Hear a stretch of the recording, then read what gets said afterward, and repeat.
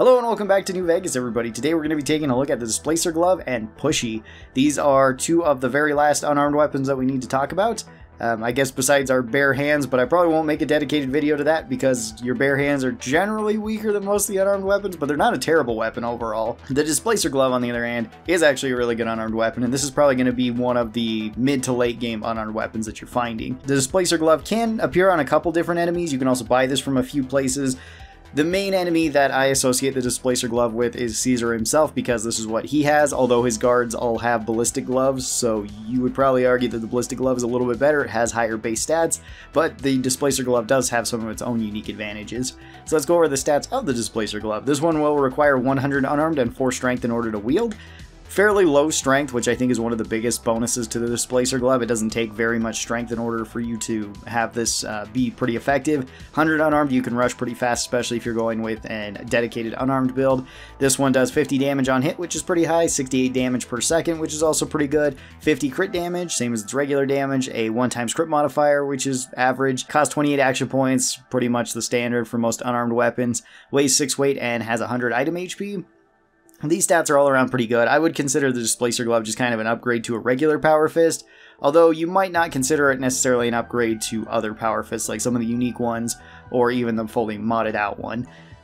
They are fairly similar then, uh, at least if you want to compare those two. And since Displacer Gloves are somewhat later into the game, they may not be worth going for unless you're running specifically a lower strength character and the unique version of this is even better. It also has its own visual effect, although the visual effect doesn't actually grant you any extra damage. It's not like the Zap Glove that we talked about not too long ago that will do EMP damage to robots. It's a very similar visual effect to like the Ballistic Glove, where it can somewhat blind you if you're punching enemies at close range, but it's not as bad as like the Zap Glove is. For the major pros of the Displacer Glove, this one does have good damage and good damage per second. It is an all-around pretty decent unarmed weapon. Major con to this one is really just that it's rare. You're not really going to be able to find Displacer Gloves too often unless you want to rush and kill Caesar and then you can take it off of him. That can work. The Brotherhood can sell these. I think there's a couple other vendors that can sell them too. I'm not real familiar with the Displacer Gloves since generally I skip this and either go with the unique version because it's fairly easy to get or I end up going and just getting like a Ballistic Fist from Caesar's guards and I just use that instead.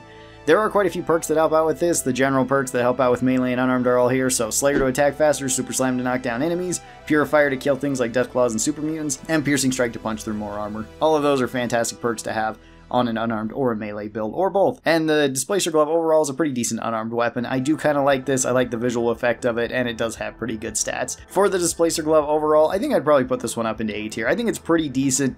It's not one of the best unarmed weapons, like I said, usually by the time I'm getting it, I would just go with the Ballistic Fist, which I think is a little bit better than it but it's not a bad option, especially if I'm not running a very high strength unarmed character, which is kind of unusual since melee and unarmed go so well together and melee does benefit from having extra strength. So it's it does feel kind of a niche, especially if you don't want to be primarily going with melee and unarmed, but it does feel a little bit awkward compared to some of the other unarmed weapons. Let's talk about the unique variant of it called Pushy. Pushy can be found all the way up north at Ruby Mine Inn.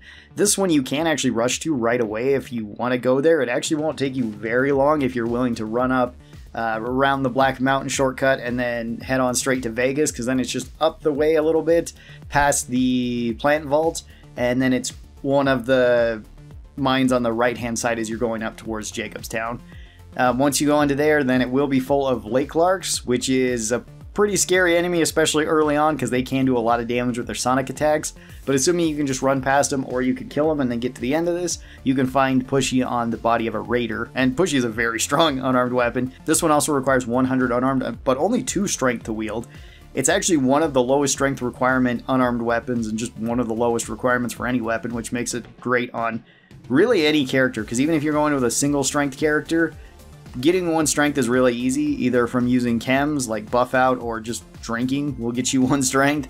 You could also just have power armor on, weapons handling makes it so you can use this, uh, having the reinforced spine from Old World Blues, or getting the strength implant all make it so pushy becomes a pretty viable option. You still probably want high unarmed to use it, but the strength is a very low requirement. This one does 60 damage per hit, which is pretty high, 88 damage per second. This one does attack seemingly a little bit quicker than the regular Displacer Glove.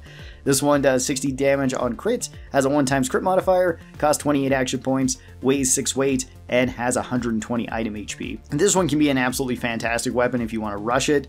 Not too long ago, I did a run on New Vegas where I was using dead bodies only and weapons that I found on dead bodies, and they had to be specifically on bodies. As soon as I found Pushy, the game became a lot easier, because I just basically switched to that as my primary go-to weapon. Uh, for anything close range, and it kind of just beat up everything. So Pushy was quite a strong uh, option there for that particular build.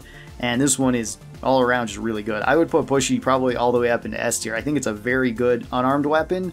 May not be my favorite because I think I'd rather go with the Ballistic Fist or the Fist of Rawr over this one, but Pushy is still a very solid one. And again, if you're going with a low strength character, then Pushy can be fantastic. Or if you're doing a, a kind of a weird run like I was doing, can also be a very, very strong weapon. Tell me your thoughts on the Displacer Glove and Pushy down below. I think that these are pretty cool weapons, and I do use Pushy a little bit. I basically never use the Displacer Glove though. Thank you guys so very much for watching this. I hope you guys enjoyed it, and I'll talk to you next time. Bye bye, everybody.